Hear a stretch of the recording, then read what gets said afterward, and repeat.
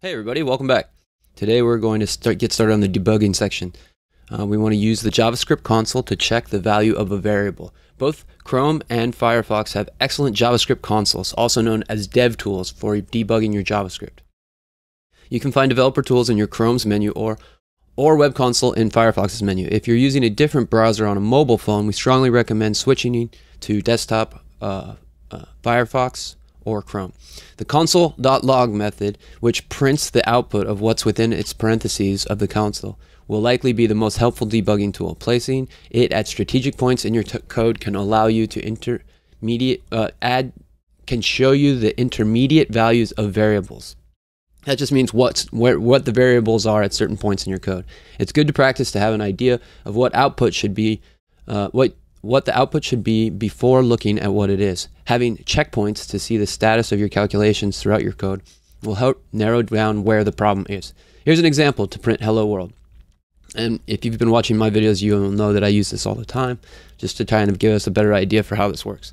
So we want to use the console log method to print the value of variable A where noted in the code. So we want to say here, so we're going to go console.log and they want us to find the value of, of A. So at this point, A is 6. And then at this point, when we go A plus B, we have 7. So at first, A starts off with 5, B is 1. We add 1 to A, A plus plus. So A, it's 5 plus 1.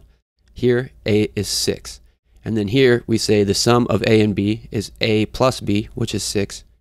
And it comes out to B.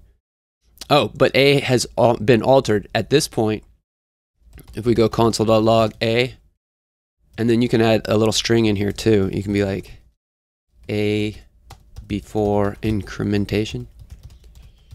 You can see that this is a before incrementation. Is this 5? Here we see that the a is 5 at this point, and then we console log it here. So after a has been incremented, and we console log a, this is um, uh, a after incrementation. And then so now we see it's become 6. And so at this point, it's 6 plus A. So 6 plus A, which A is now 6, and then uh, 6 plus B, and B is 1. We get the sum of that. So it's 6 plus 1. If we Another thing that we could do is console log uh, B, and then just have this one say B before sum mation, right? So then, so what we're doing is at first we're saying this is A, and then we're saying this is A after it's been incremented, and then so we're going to add this one and this one together to get the sum of B. And so that's how that works.